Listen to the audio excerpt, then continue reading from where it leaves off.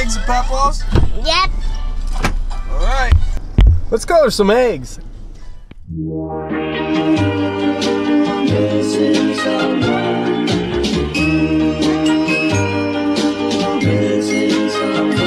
Missing someone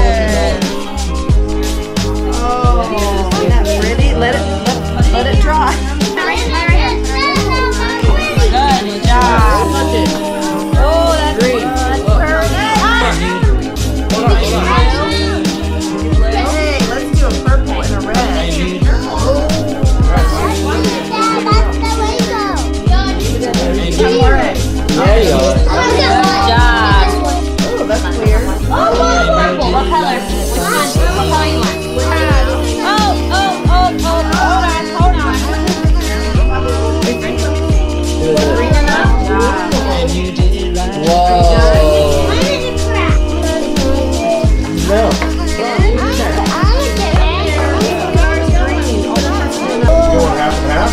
Hey, Joyce, kill. Give that other one. Just a minute.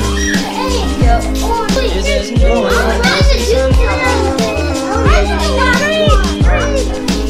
that one. Oh, nope, not, not. Alright, look, here's all your eggs. Hi, London.